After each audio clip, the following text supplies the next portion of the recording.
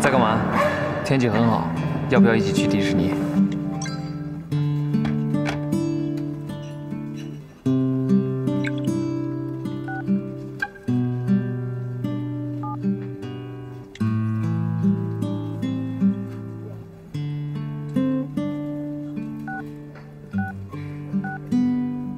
安妮姐，其实最近一直有一个男孩在追我，知道我要不要答应他。什么样的男孩子？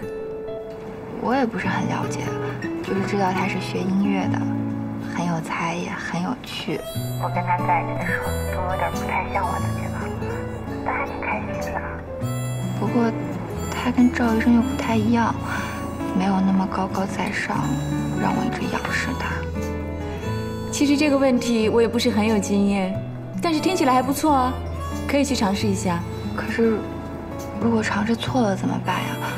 万一我不是真的喜欢他，那该怎么办？任何的事情你不去尝试，怎么知道对错呢？对不对？特别是爱情。像我这样的情况，我都能够勇敢的去尝试，你怕什么？好了，不跟你说了，我这边约了人。OK，拜。好，拜拜。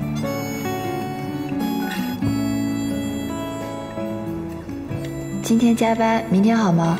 还有一些工作来不及去迪士尼，要不我们约在小区旁边的咖啡馆吃个午饭？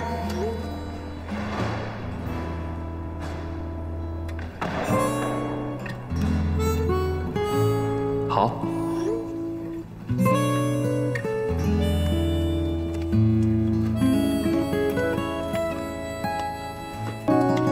起床没有？我已经到你楼下，在咖啡馆等你。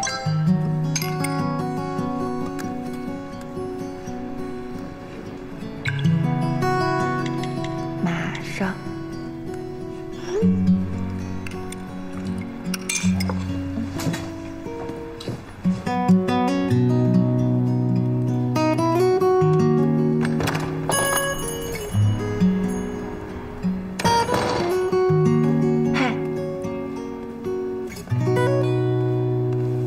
我给你点的一样的。谢谢。鑫哥，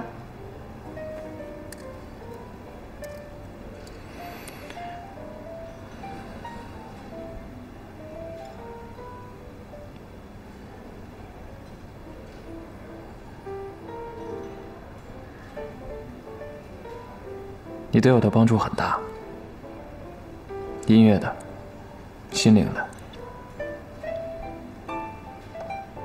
所以您好，您的咖啡。谢谢。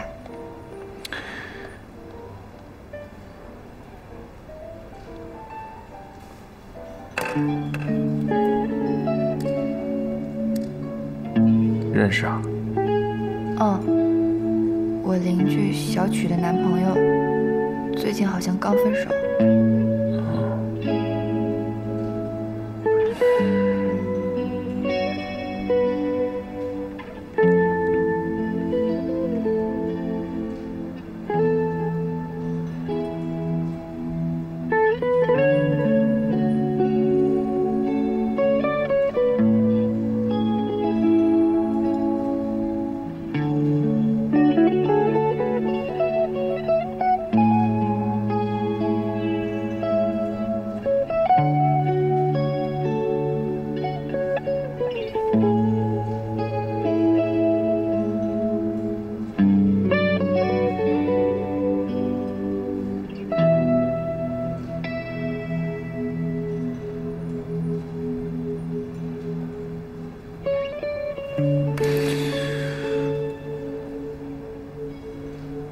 为什么要自己在这儿想呢？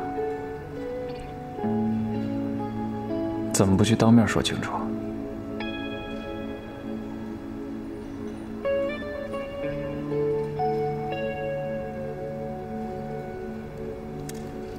要不咱们走吧？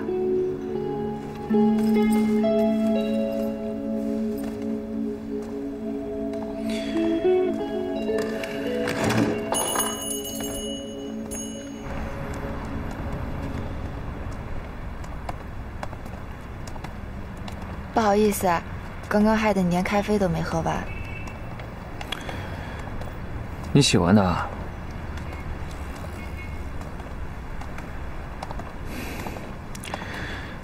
你喜欢他？不，不是你想的那样。我现在想一个人静一静。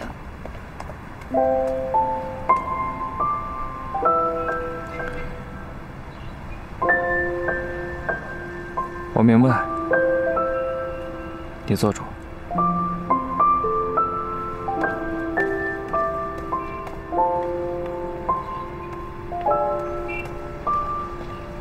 关雎尔只是不知该如何向谢童说清楚他对赵医生的这种感情。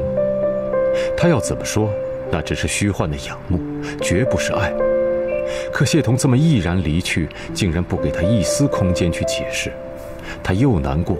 又生气，气谢童就这么轻易地放弃了自己，放弃了感情。他还气自己不能坦然地说出自己真实的想法，总是犹豫不决，患得患失。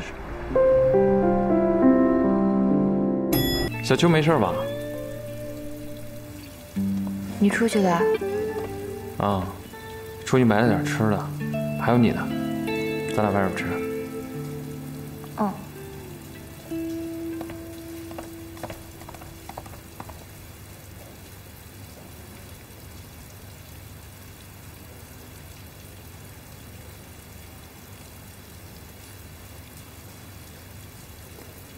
应勤那边怎么样了？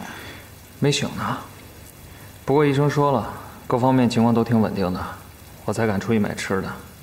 放心吧，今天晚上我不睡了，每隔半小时我进去看他一眼，不会有事的。今天谢谢你啊，实在不好意思，我也是实在找不到别人帮忙了。哎，没事儿。我说了，我们照样还是朋友。哎，对了，今天见了你说的那个姓曲的了，我不觉得你比他差呀。嗯？我觉得你比她漂亮。